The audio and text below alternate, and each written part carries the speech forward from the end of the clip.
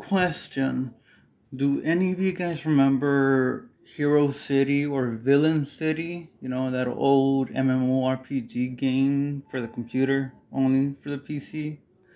If you do, tell me how it was. Because, like, I was so young when that game came out.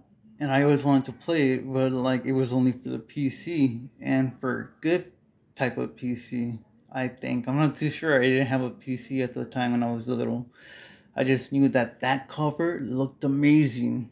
Not the hero one, the villain one. So, like, yeah.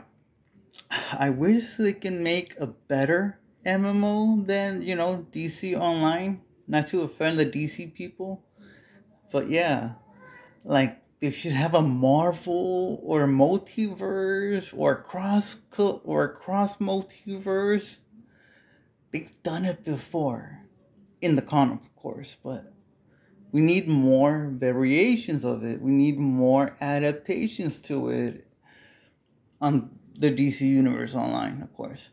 But I'm kind of I kind of hate the whole thing that you know like I have to buy just to get these classes.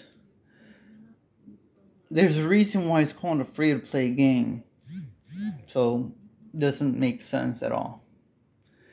But if that doesn't work out, the DC people don't want that, it's okay. I hope someone in the future makes a freaking amazing superhero game like Hero City or a Villain City, and they just own the freaking MMO universe.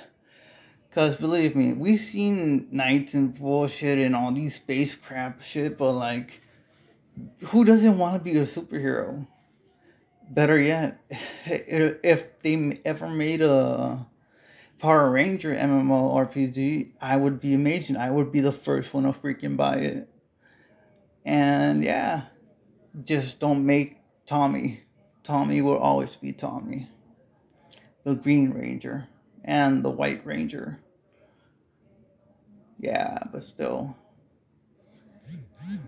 They should whoever's out there that has mm-hmm. these kind of skills, show us your skills of making these two possibilities happen in this universe of ours. Show us that you can make a good superhero game.